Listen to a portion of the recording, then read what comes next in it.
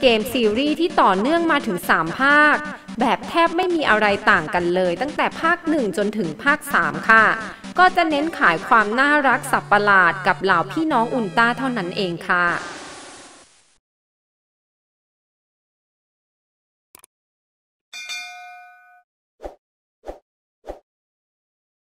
สวัสดีเพื่อนๆทุกท่านนะคะ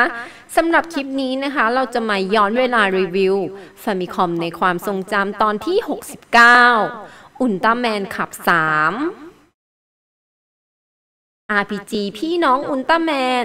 มาจนถึงภาคที่ 3 ประเภท RPG ผู้พัฒนายูตะกะ ปีที่วางจำหน่าย 1991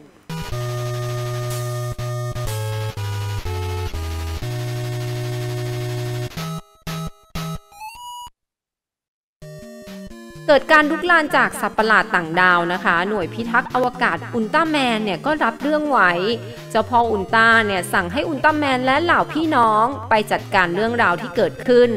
หน้าที่ปกป้องจักรวาลเป็นของพวกเขาทุกครั้งนั่นแหละ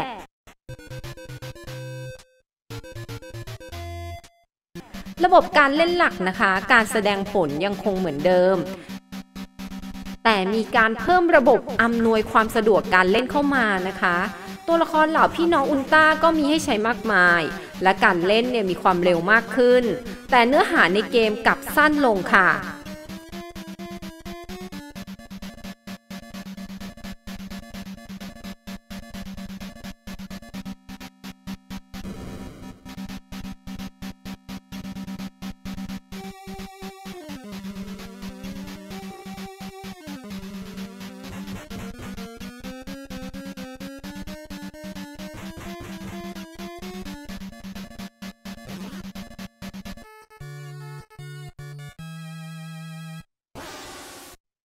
ความยากให้ 7 เต็ม 10 ค่ะ RPG Series Ultraman เน้นๆ นะคะ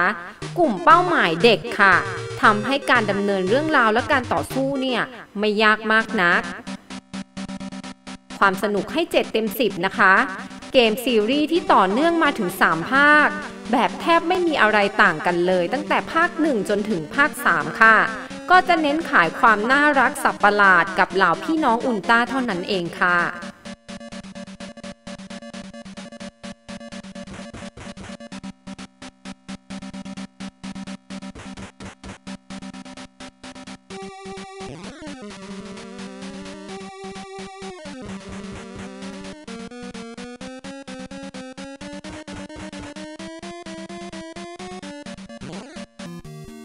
เกร็ดเพิ่มเติมมินิเกม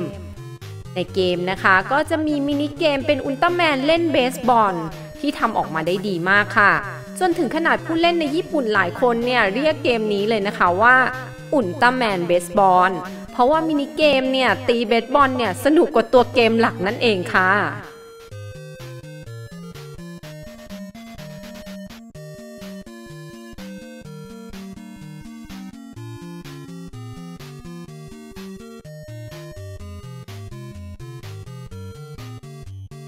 สำหรับคลิปนี้นะคะเก่าไรก็ขอลาไปก่อน อย่าลืมกด Subscribe กดไลค์กดแชร์ แล้วก็อย่าลืมกดกระดิ่งเพื่อเป็นกำลังใจให้ด้วยจ้า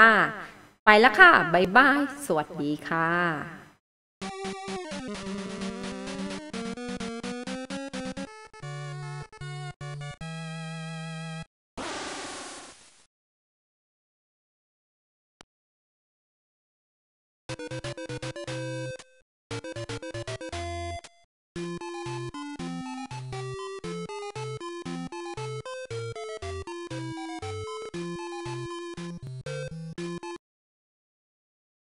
Thank you.